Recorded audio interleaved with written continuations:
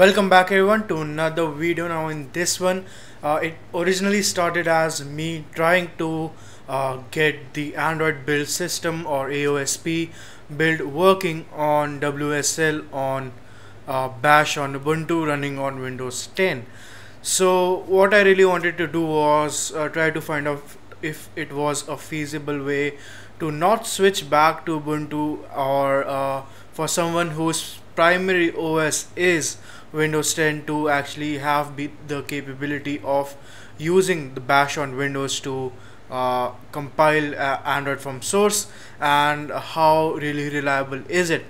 Turns out it doesn't work.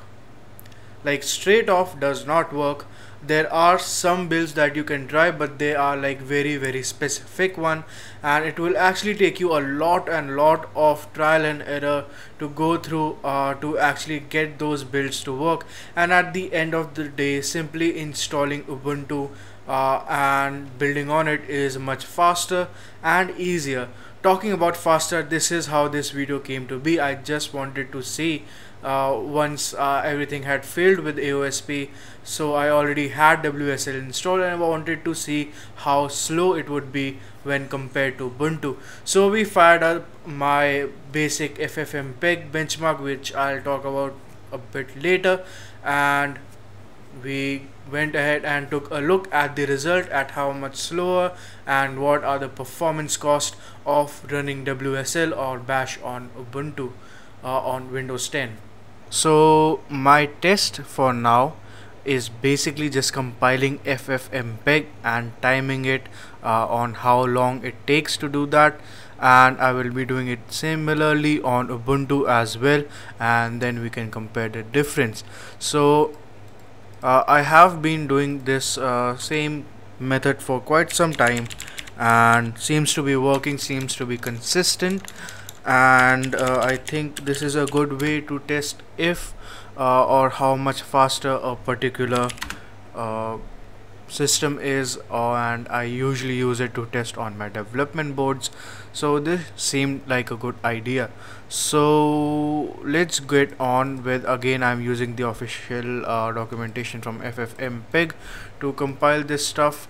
Um, and uh, I have to install certain amount of dependencies uh, that need to be there. And then with that done what we can do is let the dependencies be installed. Uh, again how much are we going to get? So we were there and then we can move on to uh, actually go ahead and get the sources ready for bash on uh, for bash on ubuntu uh, to compile ffmpeg so just these couple of lines i'll copy one by one at the same time and done.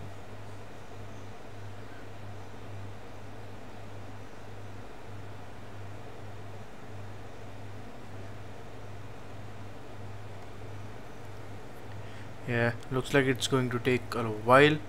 Um, let's see how we are doing on the dependencies side of things. Still being installed so the basic idea is to get uh, just about these few configs up to uh, libass and then only the 264 part and uh, leave the rest of the stuff as it is and test how long it takes to uh, compile everything. So once that is done I will be back with the results and then we'll take a look at how fast or how slow is bash on ubuntu from the actual thing. Okay so the results are in and let's get to it straight away. Uh, so these results are basically just for the configuration part where it well configuration stuff not the actual build. This is basically the pre-build and I timed that as well just to show you guys the difference. So as you can see here uh, on uh, Windows uh, WSL I was able to get around 1 minute and 26 seconds. Uh, but on the on Ubuntu it on like actual bare bones ubuntu it was actually able to do it in just 42 seconds uh, now this doesn't seem as much but if you consider as uh, practically half the time mm, yeah it, it it it really adds up. So what are we going to do next is to uh, go to the next benchmark. And so the total compile time for Windows was 8 minutes and 41 seconds uh, and on Ubuntu this was absolutely no surprise for me. I really thought it would be 5 minutes and it is actually spot on. Uh, well not really spot on but 4 minutes uh, 59 seconds. And again this is just above half uh, the time it would take just more than half the time it would take uh, on uh, bare bones ubuntu. So yeah that's about it. You are getting very definitive uh, speed boost if you go for uh, you know a proper Ubuntu installation and that is something that I really recommend people to do rather than use uh, something like bash. Bash on windows is okay for you know uh, using it sometimes if you really need to but it's not really meant to be used on a day-to-day -day basis alright so the benchmarks done it proves that bash on ubuntu on windows 10 or wsl is actually pretty darn slow. So why is it? Uh, what's the main reason behind it? So what i think is it's just not the uh, pu just purely not the processing power that gets damaged uh, that is causing the big gaps in time duration of the builds. Uh, and uh, yes perform that cpu performance is actually uh, being bottlenecked a lot by the the kind of system called conversion Windows uh, or WSL has to go through to convert the Linux system calls to Windows system calls to make everything work. That is a major part of it, uh, but not solely. Uh, recently, Windows 10 has had very, very bad uh, telemetric systems and anti-malware systems that continuously scan the disk. Now in latest build i have noticed a trend.